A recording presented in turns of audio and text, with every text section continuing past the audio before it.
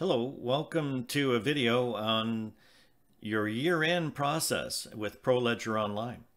Now, when it comes to the end of the year and start of a new one, there are several options that you have with Pro-Ledger Online, and we're going to review them here. The first option is, well, you know, when you go into the next year, you could just continue making entries. You know, there's no limitation uh, in terms of uh, the year. So you can just scroll through and, and start with the next year and make your entry and carry on. So that, that could work quite well. But there might be situations where you might find it also good to create a brand new file for each and every year. And so what's the difference and what should you do? We're going to talk about that briefly here.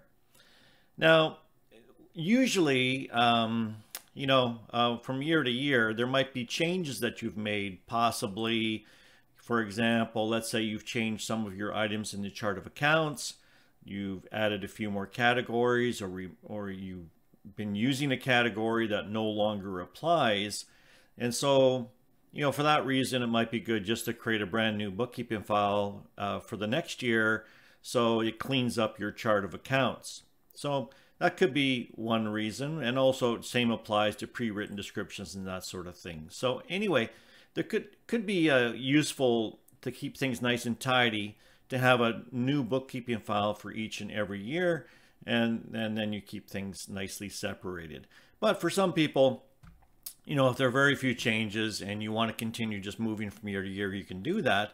Just make sure then that you're creating a filter to keep you in the current year that you're here you're working in. So for example, you know, right now it's 2022, so you know, let's say it's 2023, you want to set your filter for January 1st, 2023, let's say to December 31st, 2023. And then you can just leave that filter on all the time while you're making entries so you're not having to scroll through last year and the year before when you're making entries. And the same applies to reports. Then you're only going to see the current year report if, you know, might just make things easier. And you can just leave that filter there if you like.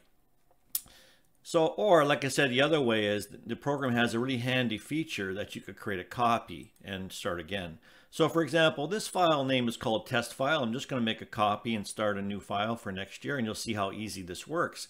And what you're going to notice is when we make a copy that all the uh, all the setup stuff is going to come with us. So all the account names that you've set up here, all the classes, everything that's set up in the setup area will copy over into the new file so you do not have to recreate it.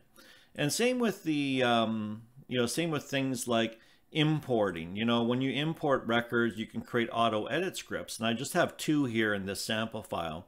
And that also pops over into the copied file. So you don't have to recreate all of this either. It, you'll just basically end up with a blank sheet for the next year, but with all the setup stuff intact and then you can make adjustments before you start your year and that sort of thing. And here, let me show you how that works. So you go to your file area, and this file that we're on now is called test file. And to the far right, you can see there's an area you can delete the file, you can mark it as a favorite, or edit the name of the file. But we're just going to choose this option called copy. And uh, let's just go ahead and do that. And it's, you know, we're just going to leave it with the default name, or we can call it copy test file, whatever you want to call it.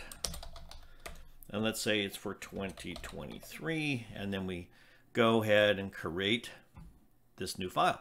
So here we go. Let's take a look now. So when we go to the import area, you're going to go to the auto editor, see the scripts are there. And when you go to the setup areas, you know, everything copied over, including your pre-written descriptions.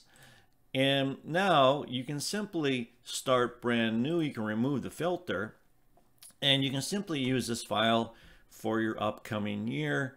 And if you ever want to go back to the previous file and look at it, you can go back to it here and open it anytime you want, you know. So, so you end up with um, multiple files, but it's nice and clean and you can switch from one file to the other if you like. So anyway, I hope that you found that video helpful. Thanks for tuning in.